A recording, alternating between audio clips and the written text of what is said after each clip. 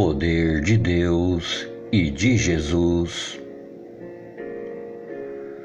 Quando, em algum momento de fraqueza, eu penso em desistir, me lembro do amor e poder de Deus, das maravilhas tantas que Ele fez e faz em favor do seu povo.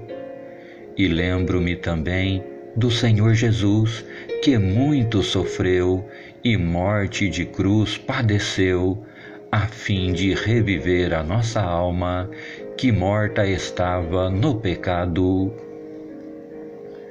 Deus deu a Sara um filho em plena velhice, que foi Isaque, o filho da promessa, e deu um filho também a Ana em sua aflição de alma, após ter orado tão fervorosamente, e ainda fez de Samuel um respeitado e honrado profeta em Israel. Deus livrou a Davi das garras do urso e do leão, da força de Golias e da perseguição do rei Saul. Deus, por meio de Moisés e Arão, tirou seus filhos da escravidão do Egito após quatrocentos anos. Abriu o Mar Vermelho, por onde os fez fugir e onde aos perseguidores consumiu. Abençoou e conduziu o seu povo pelo deserto, não lhe deixando faltar comida e água e por mãos de Josué, que por ele animado foi, o fez entrar na terra prometida.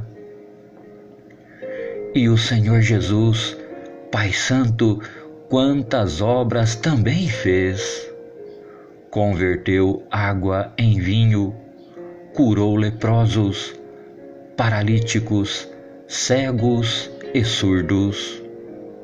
Ressuscitou mortos, libertou a mulher que tinha um fluxo de sangue, expulsou espíritos malignos, multiplicou pães e peixes, e alenta até os dias de hoje, por seus sinais, palavras maravilhosas acerca do reino dos céus e perdão dos nossos pecados, a nossa fé, concedendo-nos viva esperança de recebermos o galardão da vida eterna.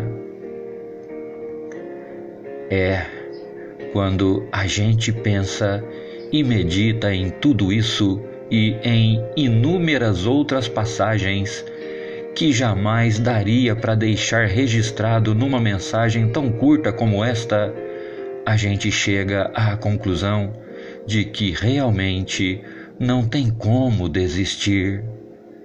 Então, meus irmãos, vamos à luta, porque nossa vitória na terra e a nossa coroação na glória celeste já estão chegando.